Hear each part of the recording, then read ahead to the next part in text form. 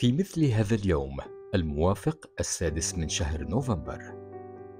تم انتخاب رئيس الحزب الجمهوري أبراهام لينكولن في العام 1860 ليكون أول عضو ينتخب رئيسا للولايات المتحدة الأمريكية في الحزب الجمهوري المؤسس حديثا.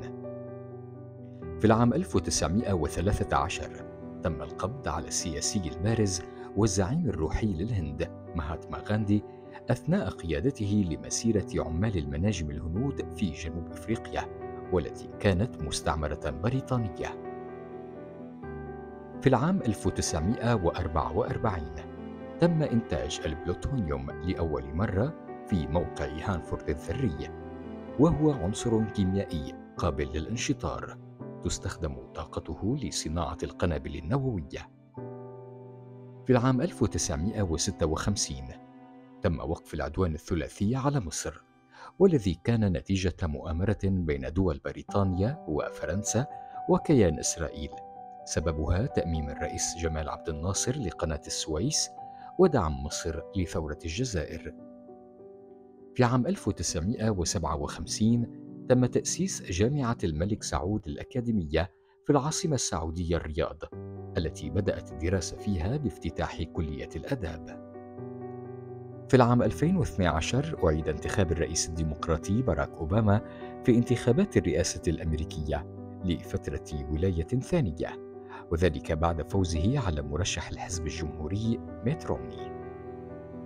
في العام 1939 في مدينة دمشق ولد النجم السوري الكبير الراحل خالد تاجة الذي لقب بأنتوني كوين العرب ويعد أحد أهم أعمدة الدراما السورية.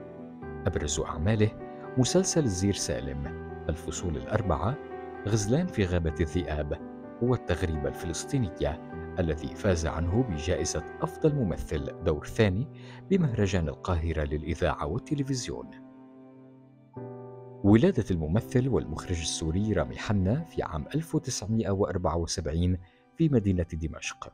من أهم أعماله كممثل مسلسل الفصول الأربعة أحلام كبيرة، وكمخرج غدا نلتقي وتانجو رحيل الروائي والسيناريست والمنتج السينمائي البحريني فريد رمضان عام 2020 عن عمر 59 عاما في البحرين إثر إصابته بنوبة قلبية.